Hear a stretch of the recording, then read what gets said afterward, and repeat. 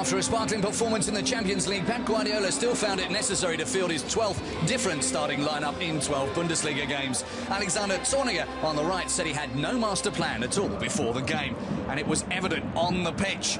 Bayern roared out of the blocks with a team weighted heavily towards attack.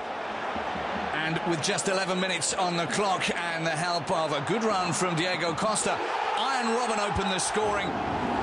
Bayern's earliest goal this season in the Bundesliga scored via the Dutchman's stomach.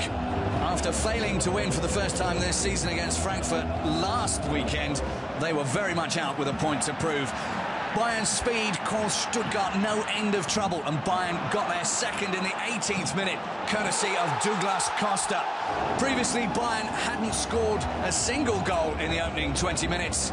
In this game, they'd already got two by that time. Stuttgart were totally overwhelmed, and Robert Lewandowski added to their misery with his first first half goal of the season, courtesy of a cross from Thomas Muller. 14 now for the season for Lewandowski. They still weren't finished in the first half with five minutes to go.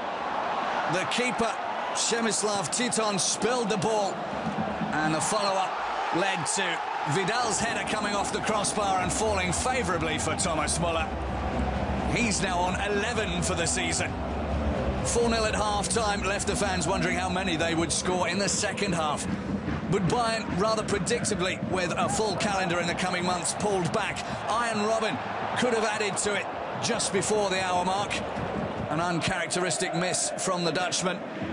And then a second attempt that could have seen him have three goals, but Bayern got all three points, 4-0 the score.